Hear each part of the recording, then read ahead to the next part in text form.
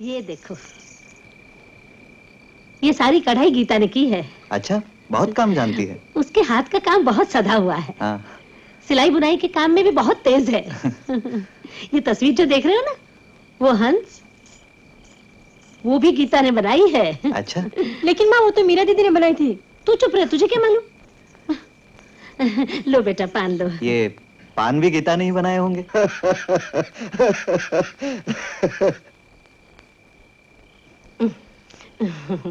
आ, लेकिन ये सब क्यों बता रही है मुझे?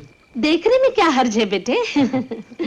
गीता ने इस बार मैट्रिक का इम्तिहान दिया है। हम्म। गीता ड्राइंग का एल्बम दिखाओ बेटा। अरे रहने भी दीजिए चाची जी। आज ही सारी चीज़ें देख लूँगा तो फिर आने का मौका ही नहीं नहीं मिलेगा। नहीं। जब मन करे आ जाया करो। इसे अपना ही घर समझो हाँ? अच्छा चाची जी गीता को इतना कुछ सिखाया है। गाना नहीं सिखाया? गाना भी जानती है। हम्म। हाँ मैंने इनको कितनी बार कहा कि एक हारमोनियम ही खरीद दो लेकिन इन्हें याद भी रहे। नहीं ये बात तो नहीं। दरअसल सोचा ही नहीं कभी इस मामले में। और फिर हमारी गीता बिटिया कभी उद्धम भादी से छुट्टी मिले तब ना। तो वो वो पहले थी वैसी। कौन नहीं होता शरारती बचपन में हाँ? माँ मैं सोने जाऊँ? अब बस कीजिए ना बाबूजी पाँच बज गए। पाँच बज गए।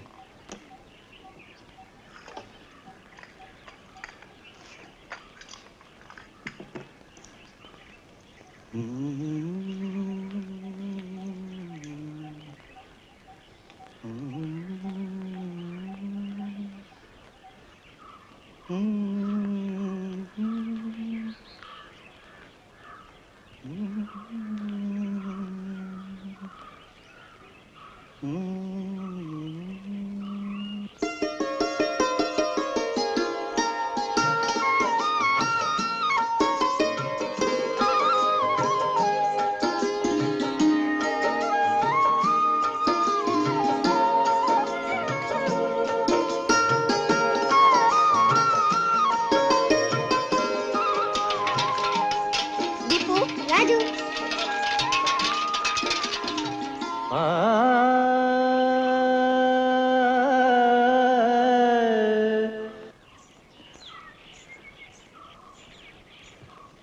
गुड इवनिंग दोस्त। गुड इवनिंग अरे वाह बहुत अच्छा गुलदस्ता है। आओ इसे पकड़िए तो। अरे हाँ भूल ही गया। आओ। देखो तुम्हें एक नई चीज़ बताता हूँ। एक दो तीन। हारमोनियम।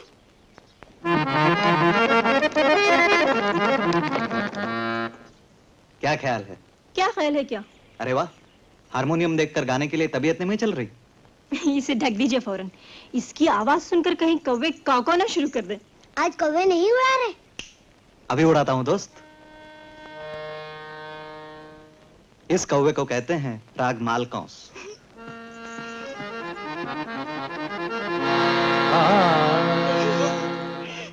नहीं नहीं।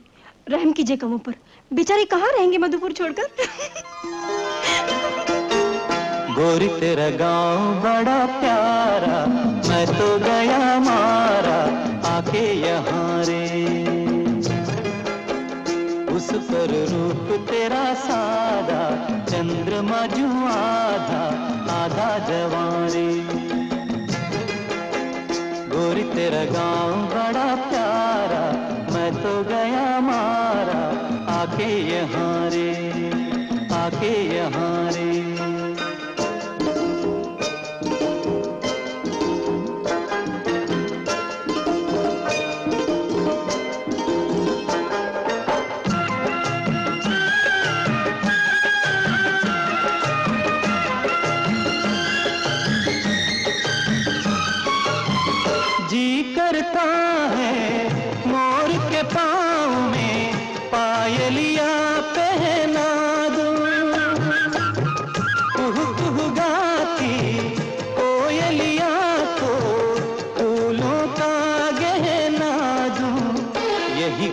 अपना बनाने को पंच करे देखो तिनके जमारे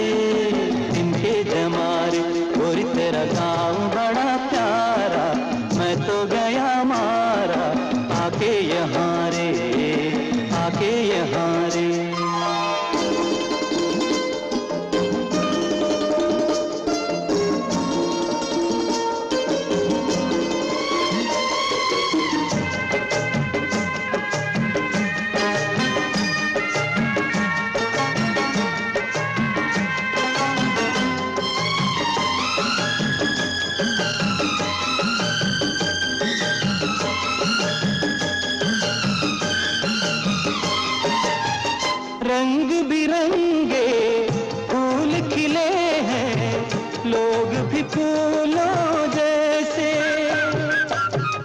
आ जाए बार यहाँ जो जाएगा फिर झरते हुए झरने मन को लगे हरने, ऐसा तहारे ऐसा तहारे, उस पर रूप तेरा सादा, चंद्रमा जुआदा, आधा जवारे। आधा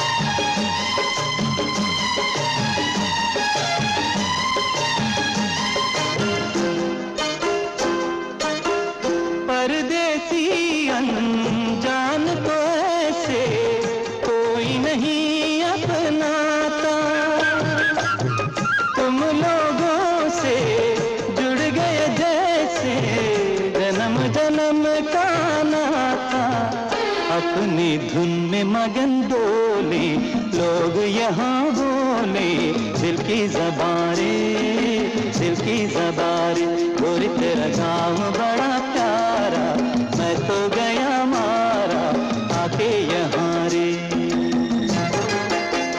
उस पर रूप तेरा सारा, चंद्रमा जो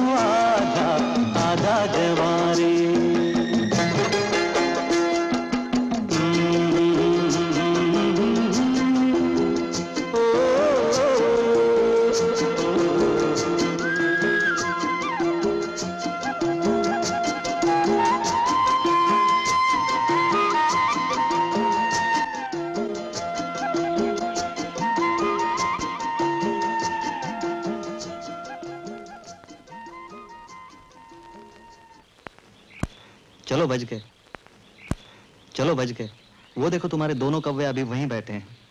कहीं उड़ जाते तो मुझे ही कोसती। हमें हारमोनियम बजाना सिखा दोगे? ज़रूर लेकिन तुम्हारा नंबर दूसरा है। पहले तुम्हारे गीता दीदी को सिखाएँगे।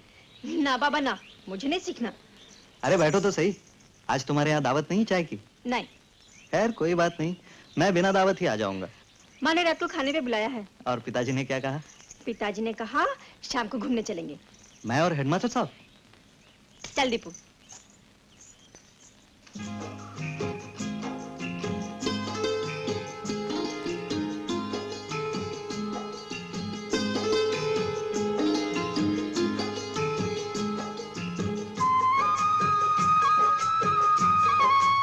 मीरा को चिट्ठी लिखी? अरे भूल गया। कल ज़रूर लिख दूँगा।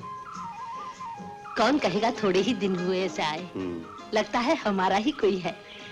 कोई कहीं भी हो चाहे अकेले हो या दुकेले हो जंगल में हो या घर में हो अगर संगीत का ज्ञान हो तो सुबह भैरवी आलाप लो दोपहर को दीपक और शाम के तो कई गाने हैं जैसे सुबह घर का काम करो स्कूल हो तो स्कूल की पढ़ाई करो दोपहर में खाना कपड़े धोना और शाम को तो बहुत सारा काम होता है। जैसे फूल चुनना फूलों का गुलदस्ता बनाना और दीपू को संग लेकर बंगले पे आना। क्या? अच्छा आज का गाना कैसा था? वो गाना तो अच्छा था लेकिन इसे कब गाते हैं? ऐसे गानों का कोई समय नहीं होता जब भी कोई गीता पास हो तभी से गा सकते हैं हट।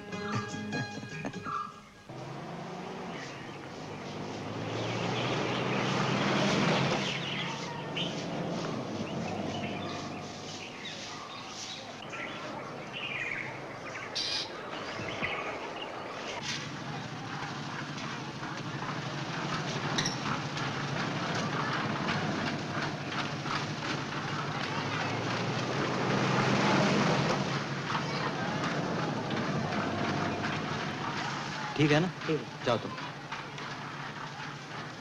क्यों राम सिंह? कोई तकलीफ़ तो नहीं हुई? नहीं साहब सर दो बार गाड़ी पंचर हुई। अभी तो ठीक है ना? बिल्कुल ठीक है। अच्छा। हाँ। साहब बड़े साहब यहाँ नहीं आए? नहीं वो तो दिल्ली गए हैं। अच्छा। जाओ तुम आराम करो। पेट्रोल है ना गाड़ी नहीं साहब। ठीक है मैं डलवा दूँगा। मैं अभी जा रहा हूँ। रमन साहब से कह देना आज का जो बाकी काम है खुद ही संभाल ले। अच्छा साहब।